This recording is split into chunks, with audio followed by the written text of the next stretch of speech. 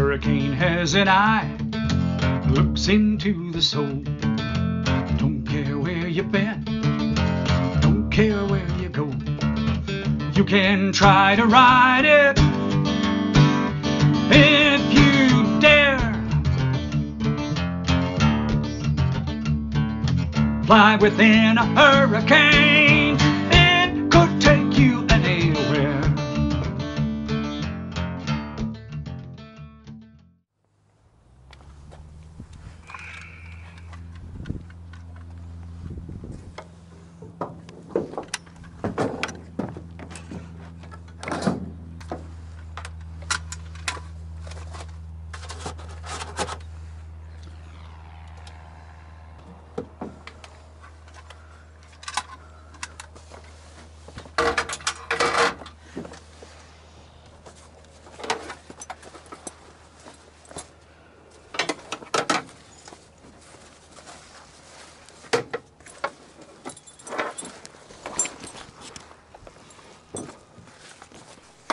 Hi, Dave Hadfield here, and I'm strapping on the parachute to fly this Mark 12 Hurricane. It's flight number six in our test sequence, and time for some light aerobatics. I've been looking forward to this. Should be a lot more interesting than engine readings and landing gear checks.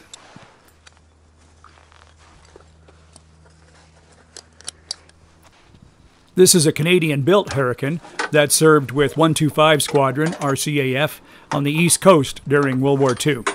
It ended up on the prairies and survived in the hands of a pilot farmer collector named Harry Whereatt. And we just completed its restoration here in April of 2022.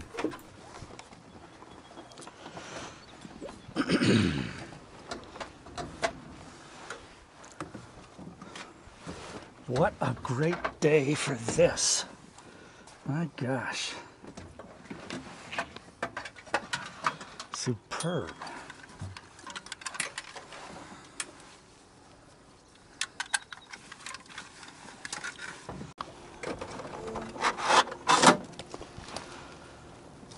All right, pre-start check. The rudder pedals are extended to maximum. Harness is secure. The camera's on. Hood is open and locked.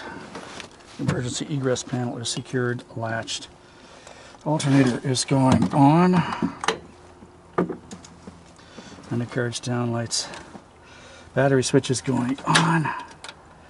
And uh, the gear lights are on, and the alternate check is good.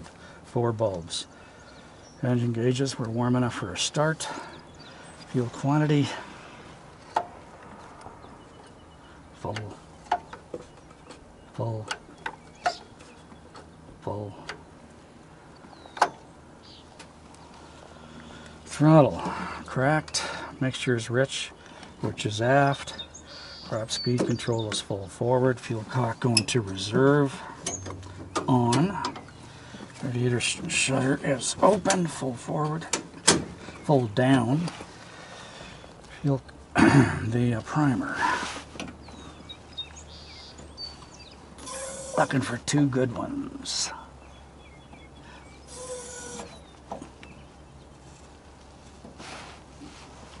Let me get a little fuel pressure in the system here.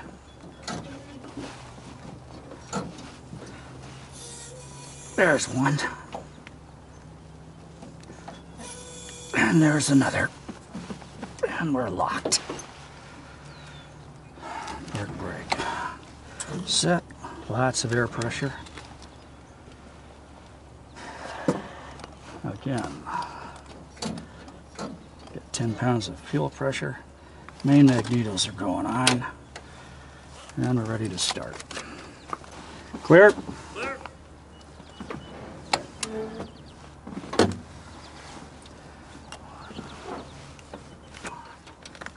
Start. Wobble.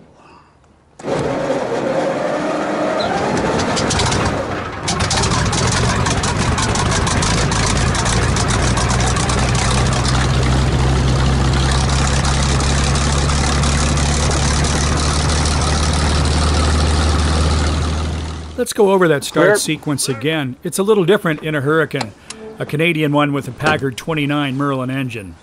First of all, there are three magnetos the regular two plus a starting mag. The starting mag produces a particularly hot spark on the intake side plugs for when you're hand cranking, as in this early British Mark I Hurricane. It was left as an option on the Canadian Hurricanes because battery carts here in Canada back then were not necessarily commonplace. And the priming's different, too. Our chief restorer, Pat Tenger, coached me to give it a couple of shots of prime, but then use the wobble pump to keep it going. That's a bit different from the Spitfire and the Mustang, but I gotta say it works. So, when you're ready to turn the prop, your left forefinger goes to the start button, bottom left, and your right hand is on the wobble pump to keep it going if it goes to die after it first catches.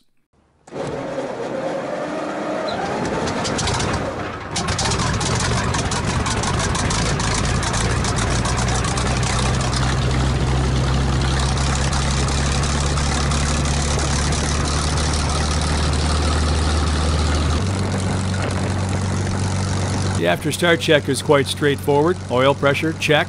Starting magneto, off. Primer, in and locked. RPM, 1000 or smooth running. Fuel pressure, check by turning the electric fuel pump on. Watch the needle, and then off. Radiator shutter as required. Flaps up. Check we get 1000 psi in the hydraulics and then back to neutral. Confirm they did retract with the ground crew, in this case Paul Tremblay, our director of maintenance.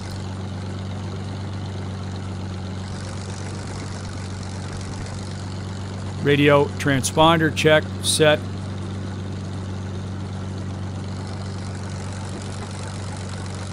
And confirm we have brake pressure before we taxi away.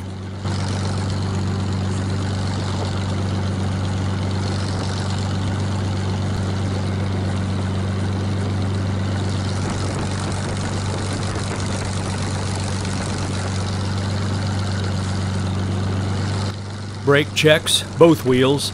These are pneumatically operated drum brakes and they can be quite complicated to rig properly.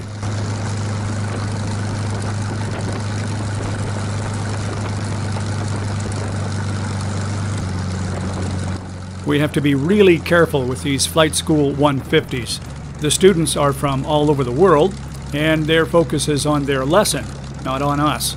And I know this because I've been there in both seats.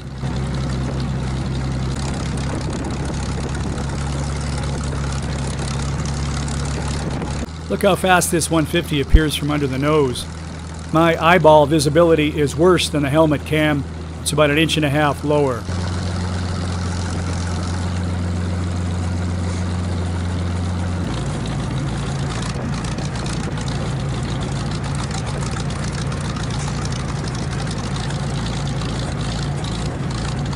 All right, so the oil temperature has risen to the 30 degrees Celsius I like to see before we do the run up.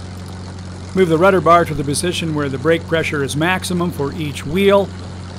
Fuel selector to main tanks on. Check for the click. Radiator shutter open. Time to lower the seat a bit. Have a good look around, including the mirror. I don't want this Merlin to flip somebody over. Take the parking brake off because I want to hold the brakes to the maximum for when the RPM comes up. Increase the throttle friction so it doesn't creep. Make sure the brakes are holding. Bring the power up to 1900 RPM. By the way, the actual RPM gauge is hidden under the glare shield. I can see it with my eyeballs, but the helmet cam can't. That TrueTac box on the top of the glare shield is an optic device as a cross-check for RPM. Don't forget a Merlin is geared, almost two for one.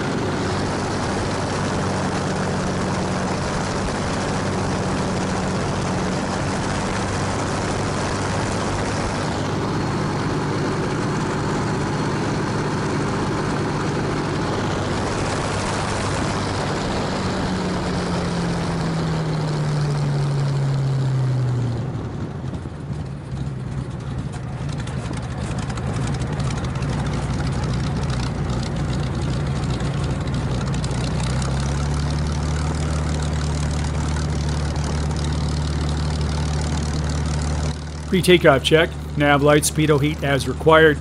Off in this case. Trims set pitch neutral, rudder to right. Prop lever full forward. Mixture lever rich, which is fully back. Fuel main tanks on as per the run up. Fuel boost pump on. Check the pressure increase, bounces up. Controls free and correct. Flaps up. Harness tight, locked. Other items at the end of the runway. Call Gatineau radio. Get a transponder code. And taxi away.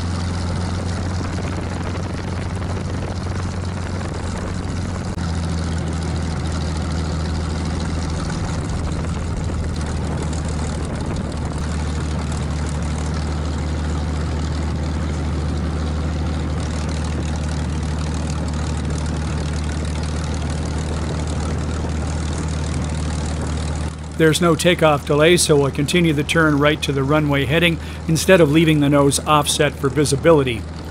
Set the old barrel DG to runway heading. Transponder to alt.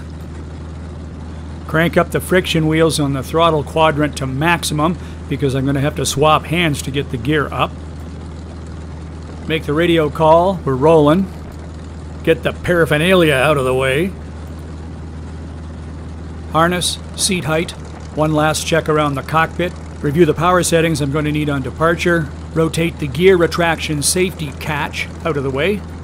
Set the volume on the radio to maximum. Remember that even though it's British, it's a right foot airplane. Release the park brake, and it's time to go.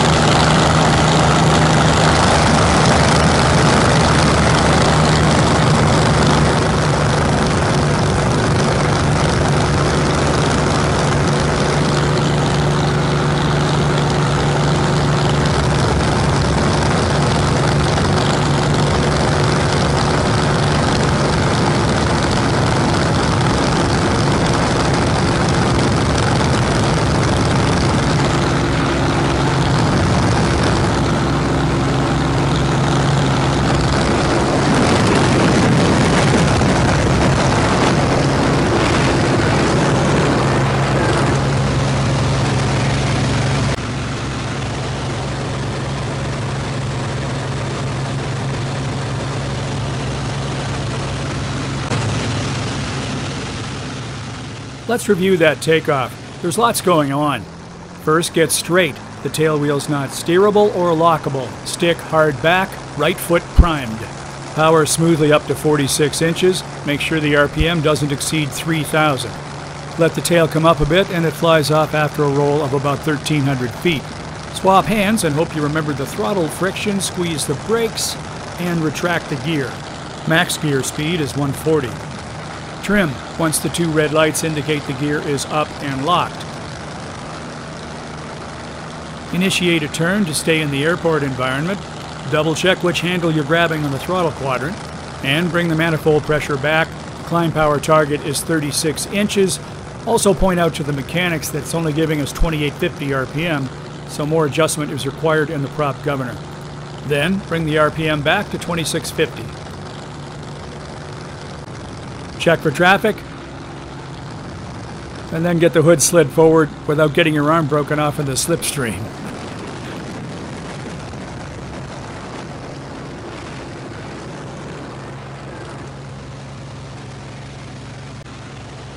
The rigging is good, it flies straight, and there's very little vibration. Switch to terminals frequency, talk to them, and bring the gear lever back to neutral, which could have been done earlier.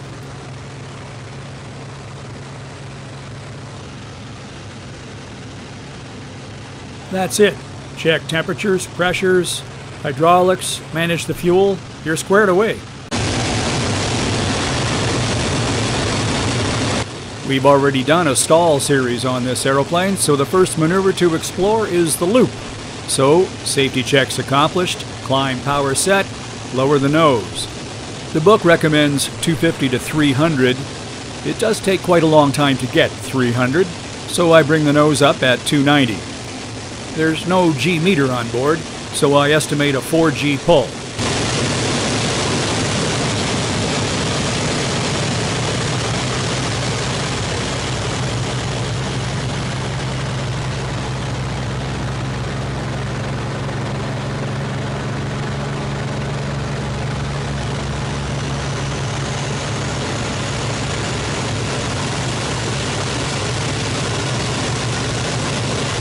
Well, that first loop was a bit strange. The aircraft's response to control movement was not what I expected. It wasn't smooth and linear like it is in the other fighters. I had almost full back stick at one point to keep the nose coming around, but it still got a little slow at the top of the loop and I went off heading. So, pause, think about it for a second, review the procedure, review the trim, and give it another try with a slightly higher entry speed and maybe a stronger initial pull.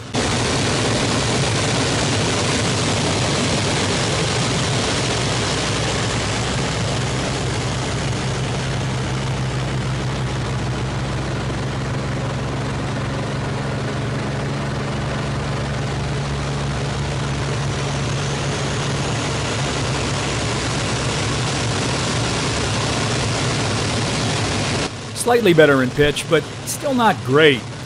I suspect we need more ballast in the tail. We are within the suggested CG range, of course, but in this civilian configuration, some adjustment is required. And uh, by the way, the three quarter roll and turn, that's just for fun. I've rolled it several times on previous flights, and that's what's on the program now.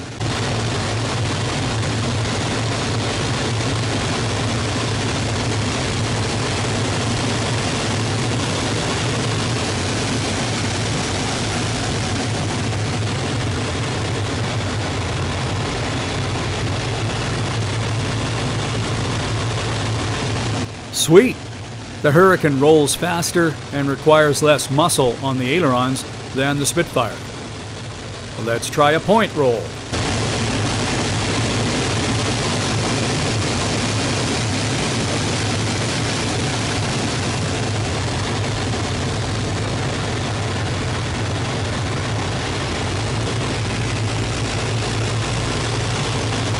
Not bad. Nice crisp response, but maybe pull the nose up a little higher.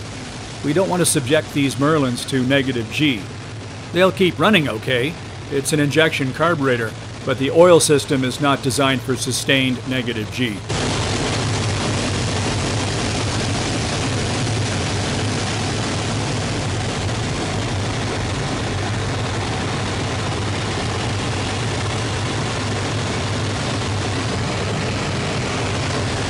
Well, at this point I discontinued the aerobatics in order to carry out some other items on the test card, throttle and RPM control rigging, which I'll spare you. Went back and landed, had a cup of tea while I wrote up my notes, refueled the airplane, got back in the air, and carried on with the aerobatics.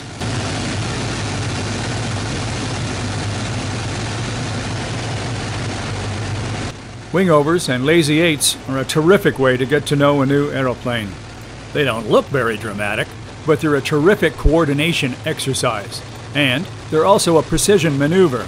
You come up through the horizon with wings level, speed built up, pull the nose way up, and the camera doesn't quite do this justice. And then at the 90 degree point in the turn, you let the nose back through the horizon.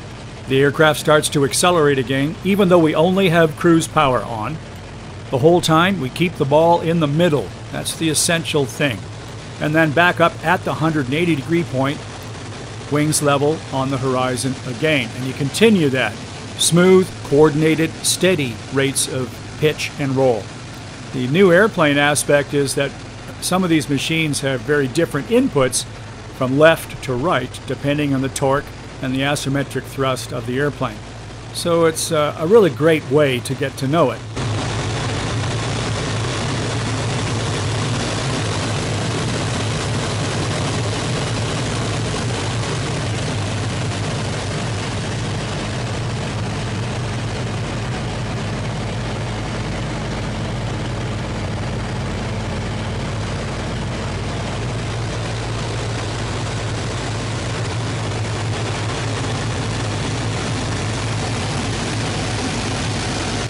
I did about 10 of these and established that it does a wing over to the left much more smoothly and naturally than one to the right. Much more rudder required in the right one. And also the pitch inputs are quite different from a Spitfire, more back pressure required to pitch the airplane up. No bad thing, just getting to know the new aircraft. Also, I was watching the temperatures and pressures very closely because this was the first time away from the airport and out into the practice area but she ran smooth and cool. Next, fuel checks. Very important in a new aeroplane, particularly if you're doing aerobatics. I want to make sure that both main tanks are feeding equally. To check the fuel quantity in a Hurricane, you move the selector to the desired tank, push it, then read the value on the needle.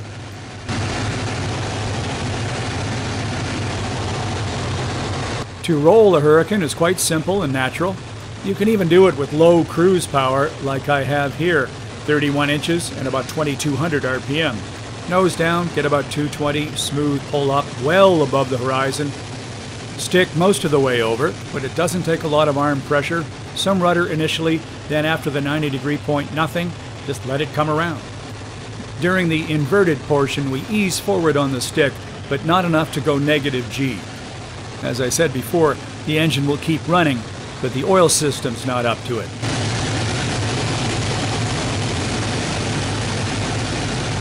A fun turning maneuver is to do a three-quarter roll the wrong way, end up in a turn the way you intend to go. Good orientation practice.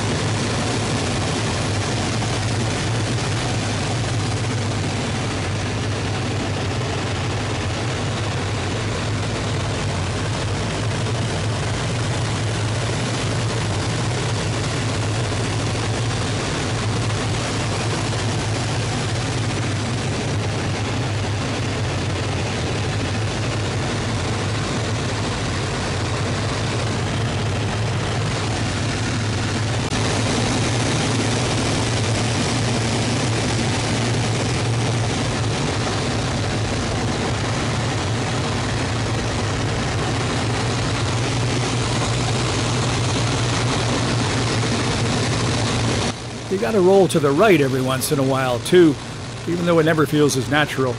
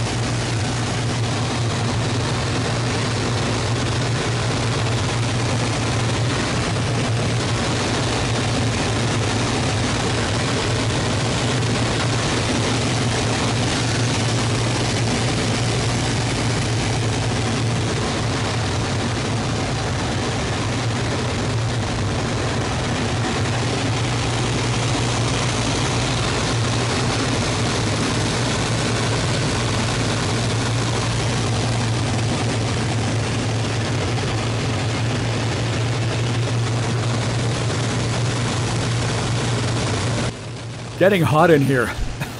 I wonder why. Always a good idea, though, to check the carbon monoxide detector.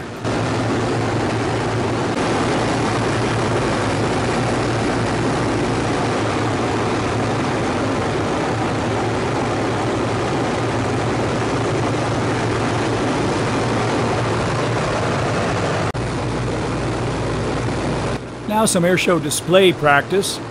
Where the river crosses the highway is a great show center mark, and I'm practicing wing over turns to the corner markers, turning away from the crowd.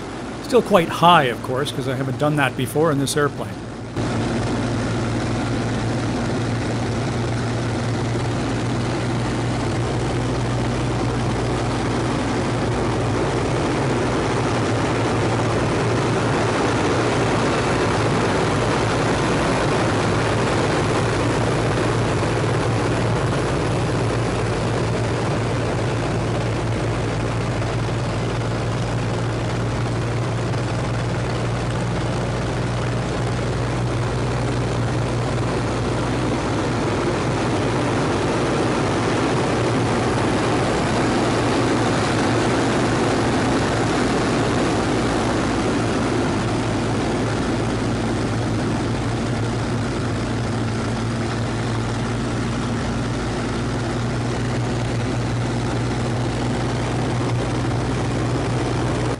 I see I'm not compensating for the west wind enough up here.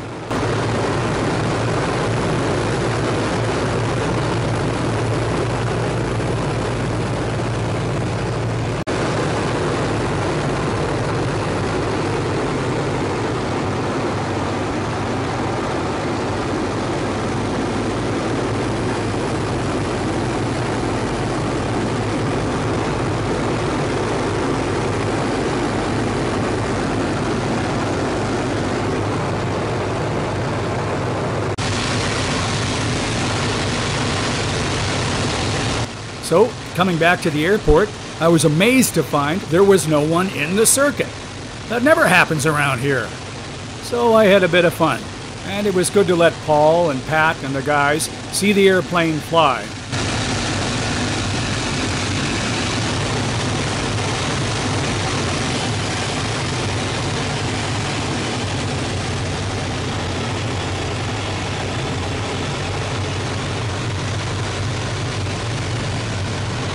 Out of the brake, we bring the nose up and get the speed back below 140 so we can select gear down.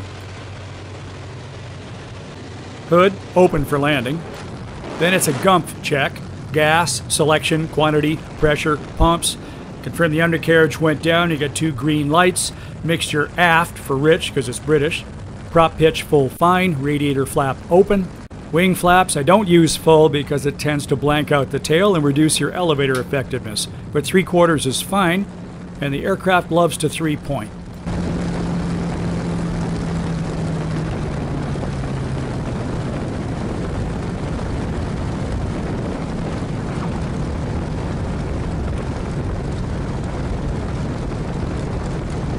Speeds, we hold 105 till we're on final, then let it come back to about 80 over the threshold. It has very good manners in a three point and tracks straight. Then, like most of these warbirds, little or no braking until you've slowed right down. At Gatineau, that taxiway is at the 3,000 foot point. We have no trouble making it in a hurricane. You have to be very careful with obstructions like these cones when you're taxiing a fighter. You just can't see. As I said before, my eyeball height is below this camera height. And in the fighters, there's usually pitot tubes and other things sticking down below the wings.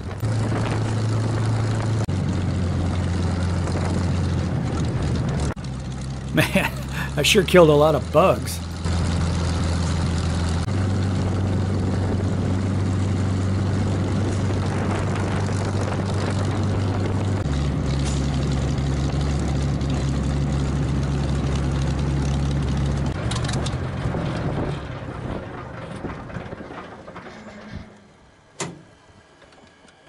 Master, mags, fuel.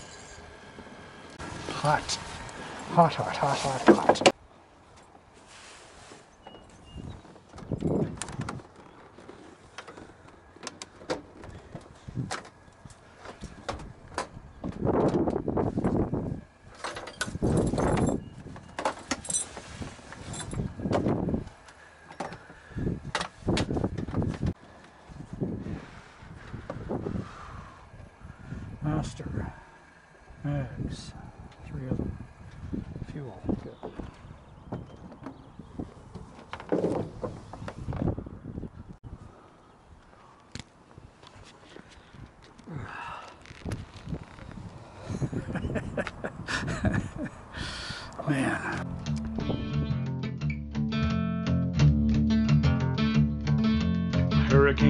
An eye, looks into the soul.